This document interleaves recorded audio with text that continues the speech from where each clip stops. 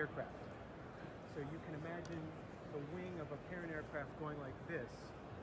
Gambit is underneath it, and it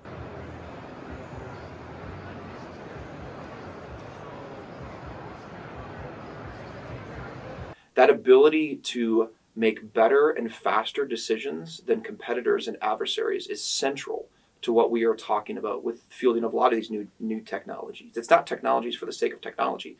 It's technologies that enable warfighters to make better and faster decisions. Decoy through right. battle space. Right. The start happening, and it starts. You'll see. It'll start drawing little yellow like detection boxes. Oh, okay. Ellipses, All right.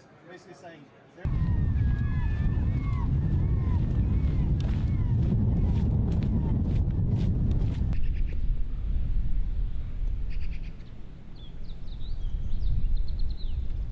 AI is central to our innovation agenda, helping us to compute faster and share better and leverage other platforms.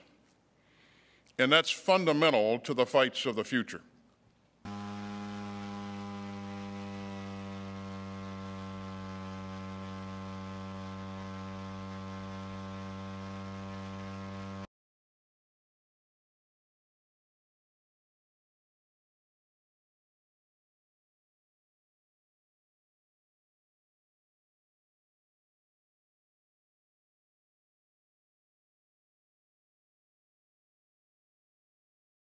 Regardless of the autonomy of the system, there will always be a responsible agent that understands the limitations of the system, understands, has trained well with the system, has justified confidence of when and where it's deployable, and will always take the responsibility for deploying it and be those guardrails.